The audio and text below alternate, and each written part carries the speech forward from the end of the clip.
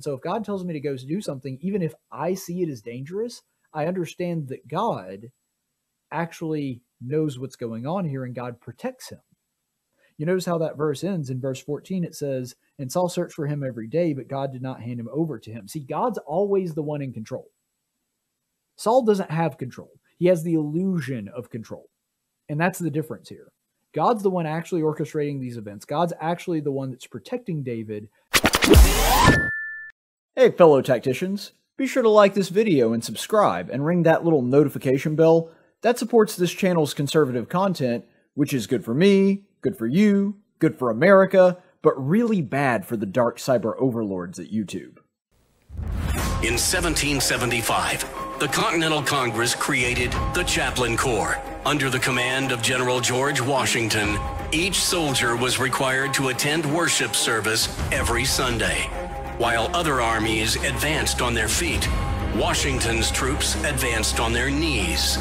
It's time for the Chaplain's Report with Caleb Colquitt on tactics. Our chaplain's report today comes from the book of First Samuel. We're going to be continuing our series in First Samuel. And just to, for those of you that may not have seen the last chaplain's report that we did on this, to give a little bit of background, David got the call from God that God commanded him while he's on the run from Saul and trying to hide out in the wilderness with a troop of men. He said, There are some Philistines attacking the city of Keilah and I want you to go down there and liberate the city from Philistine influence. And he says, Okay, are you going to make me victorious in battle? And God says, Yes.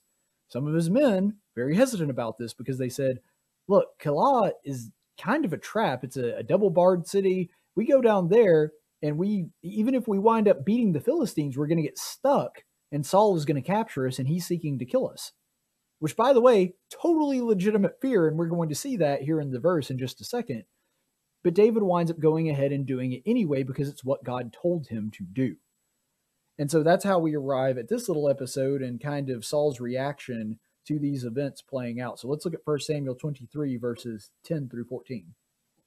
Then David said, Lord God of Israel, your servant has heard for certain that Saul is seeking to come to Keilah to destroy the city on my account. Will the citizens of Keilah hand me over to him?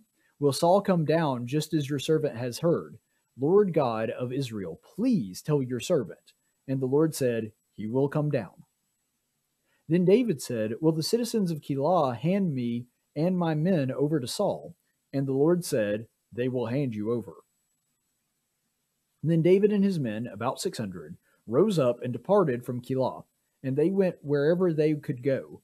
When it was reported to Saul that David could had that David had escaped from Keilah, he gave up the pursuit. And David stayed in the wilderness in the strongholds and remained in the hill country, in the wilderness of Ziph. And Saul searched for him every day, but God did not hand him over to him. You know that old saying that no good deed goes unpunished?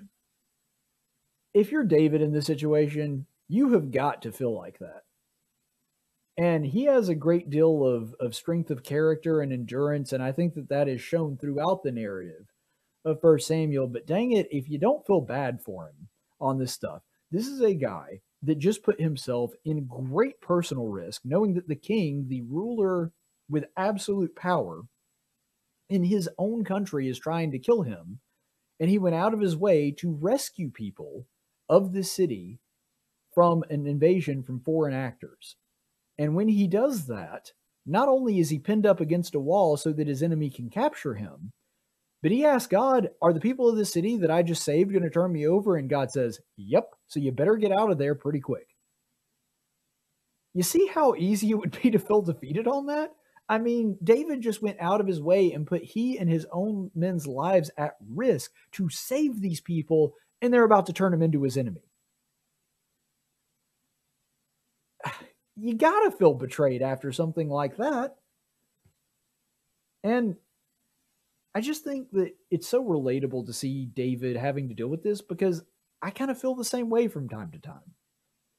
I really do. And I don't mean to, but I think that every person feels like this from time to time. You wonder if the things that you're doing, the good that you're trying to do, is it even working? Is it even actually making a difference? And sometimes, even when we do good to people, we feel like our only reward for it is more grief and heartache.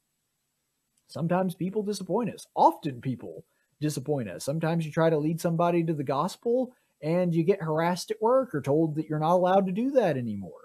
I mean, there are times where doing what God asked, which is exactly what David did, it results in us being chastised for it. We feel like we're trying to do the right thing, and then instead of being rewarded, the exact opposite happens. And I got to believe that that's kind of where David was when all of this happened. He, has got to feel like no good deed goes unpunished, that he just did all of this for these people and they're about to turn him over to his mortal enemy. And notice how, in both of these instances, because going back to the original story that we looked at in verses one through five, when David is seeking advice and guidance, his first instinct, okay, let's ask God about it. Let's see what God would want us to do, and then we'll do that and even got resistance from his own men and said, Nope, God said to do this, we're doing this. And then when he's in trouble again, and when he thinks that Saul might come and and you know pin him up against the wall there and have him stuck in that city to where he could capture him, what does he do then? He goes to God. And I think this is part of the reason that David is such a strong and effective leader and something I wish our own leaders here in America and in the state of Alabama and in the city of Montgomery would emulate. And I also think, and this is very important as well, that this is the reason that God refers to him as somebody that had a heart that sought him, a man after God's own heart.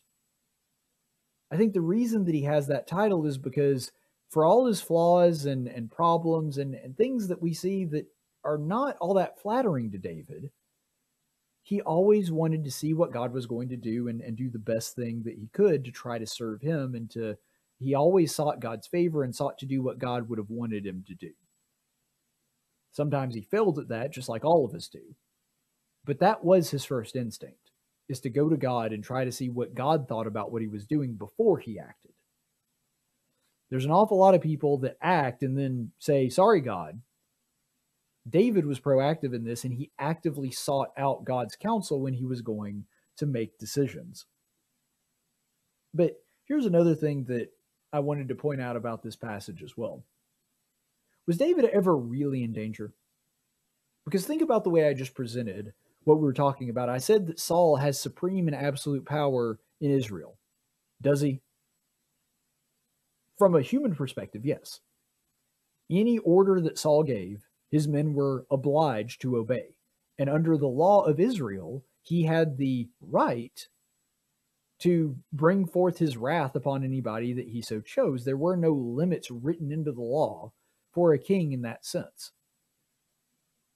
But in the law of Moses, and when I say that, I mean by extension the law of God, we understand that the covenant with Israel is that God is the king of Israel. He is the true ruler. And the reason that David was a good king is because David recognized that. David understood that his power and influence, even though he was king, were limited and were contingent upon God. Saul did it. Saul didn't consult God. Sometimes he actively rebelled against God. And ultimately, he saw things, he didn't consult with God. He just, as we talked about in the verse right there, Saul just finds out about it and he's like, okay, let's go down there. He did did Saul ever ask what God thought about that? Did he ever ask, is me going down and capturing the city and, and taking David as prisoner and killing him, is that something God would want me to do? Thought never crossed his mind to ask about God and how he felt about it. And so it shows a very strong contrast between these two. But it also emphasizes that Saul's not really the one that's in control here. And that's the reason that David trusted him. It's the reason that David is willing to put his life in God's hands is because he understands that even though it seems from human eyes that Saul has all the power and all the influence, and even though David is smart in the sense that he understands, like he doesn't just sit around and wait for God to save him, he actually takes steps and, and does things to try to preserve his own life as well, but he consults God and involves him in that process where Saul doesn't. And that's because he understood that as long as God is on my side, it doesn't really matter whether Saul is against me or not. That's a lesson that David learned with Goliath as well. It doesn't really matter how tall Goliath is, or how powerful he is, or how many weapons he has, or how much more experience he has than me. I've got God on my side, so I win regardless. And he understood that about Saul as well. Yes, Saul has every advantage here. Um, he has the entire country on his side. He has a much bigger military, a better equipped military. I've just got like a ragtag group of vagabonds here. But at the end of the day, it doesn't matter because God's on my side, and I try to make sure that I am on his side.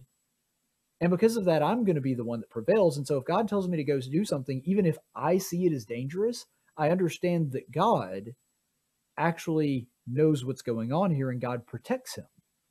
You notice how that verse ends in verse 14. It says, And Saul searched for him every day, but God did not hand him over to him. See, God's always the one in control. Saul doesn't have control, he has the illusion of control. And that's the difference here. God's the one actually orchestrating these events. God's actually the one that's protecting David and making sure that he does what he would need to do to make sure that he is safe from Saul. And I think that the lesson that we can take from that is if we are seeking to do God's will and help others like David did with the city of Keilah, even if the people didn't appreciate it, even if the people rejected him and the people were they were willing to turn David over to protect their own hide. Even when that happens to us, the cruelty and the disloyalty of human beings doesn't matter if we're on God's side because God is going to be looking out for us. God is going to be protecting us. That doesn't mean we're never going to suffer. It doesn't mean it's not going to hurt when people betray us, as I'm sure it hurt David when this happened to him. But what it does mean is ultimately we'll be okay because God is going to be watching out for us. So what man does to us really doesn't make a big difference. And I think that's the takeaway here because humans, even ones that David protected and did things for, they weren't faithful. But God is always faithful. David knew that, he understood it, and his behavior reflected that knowledge that God was always faithful. Stay the course, friends. If you're watching this because you liked this video, awesome. Be sure to like and subscribe and click that little notification bell. If you're a leftist that's only here to hate watch, hang on before you punch that dislike button. You see, I identify as a Hispanic woman, so if you dislike this video, that's literally violence against me and you are now guilty of a hate crime. Why do you hate beautiful trans people of color like me? What you gonna do now, Woke Brigade?